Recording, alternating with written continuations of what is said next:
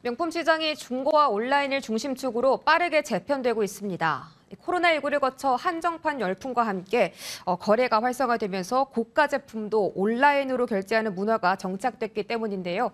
이 머니투데이 방송 특별 기획 시리즈 라이프 인더스트리 빅뱅에서는 이 급변하고 있는 명품 소비 트렌드를 이수현 기자가 취재했습니다.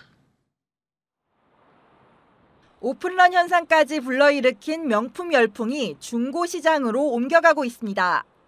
현대백화점은 젊은 소비자들이 집중된 상권의 한복판에서 중고 전문 매장을 열고 중고 명품 시장에 적극적으로 뛰어들었습니다.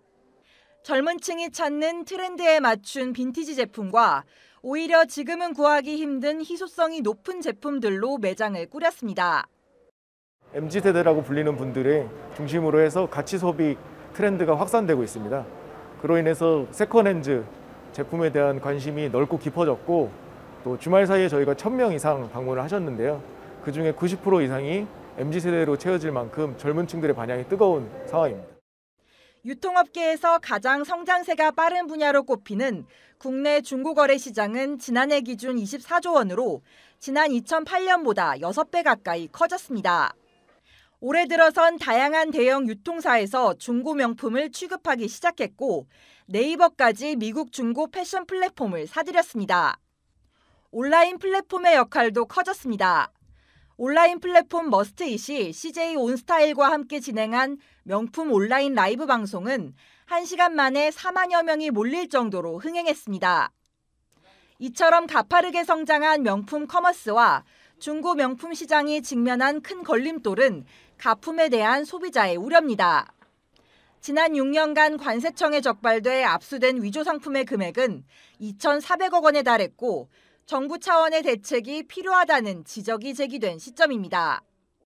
수입, 수출, 유통, 판매 전 과정에서 특허청을 비롯한 범정부 차원의 단속 체계를 강화해 할 것입니다.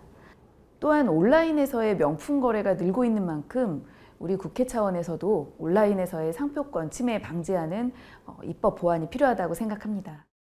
중고나 비대면 거래는 신제품을 매장에서 구매할 때보다 진품 여부를 가리기 어려워 업체들은 앞다퉈 명품 감정 인력을 충원하고 있습니다.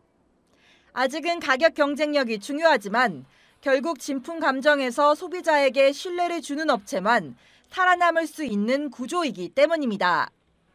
시간이 지나도 변하지 않는 가치를 내세운 명품. 시간을 거스른 중고 명품을 찾는 합리적인 소비자가 늘어나며 국내 명품 시장이 성숙 단계에 접어들었다는 평가가 나옵니다. 머니투데이 방송 이수연입니다.